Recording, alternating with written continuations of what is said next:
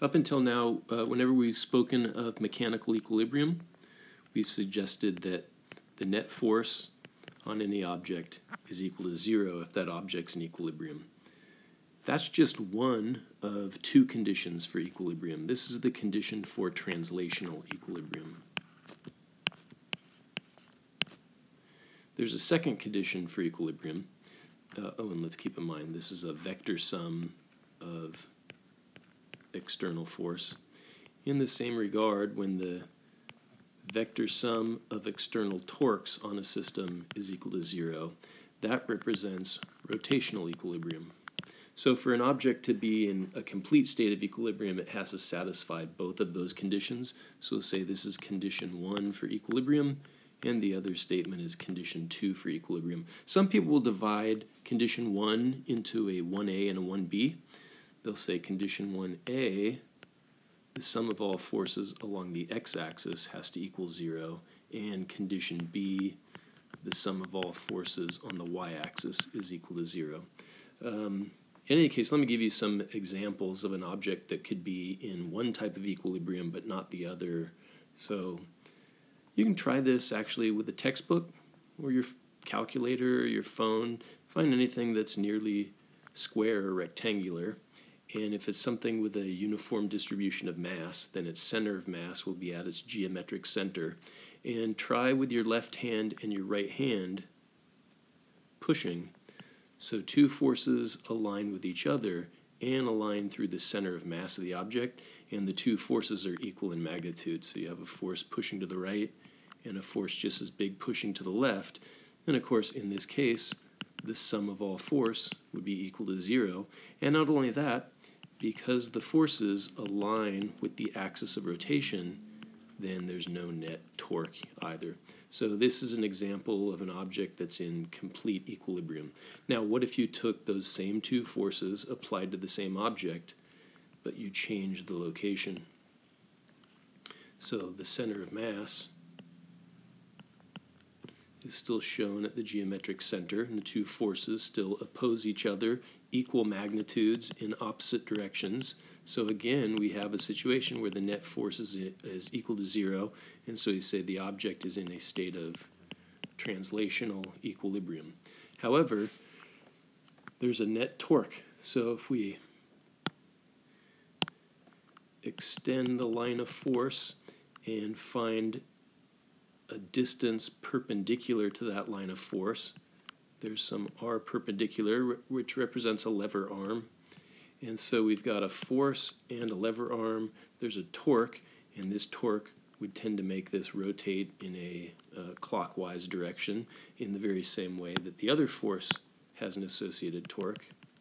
There's a lever arm perpendicular to the line of action of force, and so both torques would tend to rotate the block in a clockwise direction, and so there is a non-zero net amount of torque, so it is not in rotational equilibrium. And so the end effect of this is this block would rotate clockwise, and so a moment later it might be in this position, and a moment after that it might be in this position, but the center of mass isn't changing location. So that's why we say it's in translational equilibrium. There's no translation of the center of mass of the object, there's only a rotation. So the acceleration of the center of mass is equal to zero, but the angular acceleration of the system is not equal to zero. Let's do some more examples. What if you had two forces and they're not equal in magnitude. F1 pushing to the right is greater than F2 pushing to the left. Is there any sort of equilibrium here? Okay, so the net force is definitely not zero, and so there is some acceleration of the center of mass. And so this object is going to translate through space, right? The object is going to move not just with some velocity, but with some acceleration to the left. But the net torque, as you can see, would be equal to zero in this case, and so there'd be no rotation for this object. So this is an example of uh, rotational equilibrium, but not translational equilibrium. And so then we've got another case.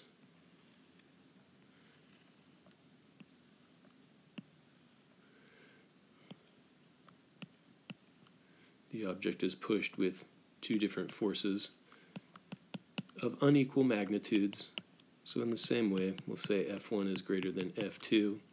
So now not only is there a net force, there's also some net amount of torque. And I guess this object would not only, oh, ridiculous. Sorry about that previous example. Just caught myself. F1 was the larger of the two forces, wasn't it? I don't know why I drew it accelerating to the left. No, this object would definitely be accelerating to the right. And in our final case, this object is going to accelerate to the right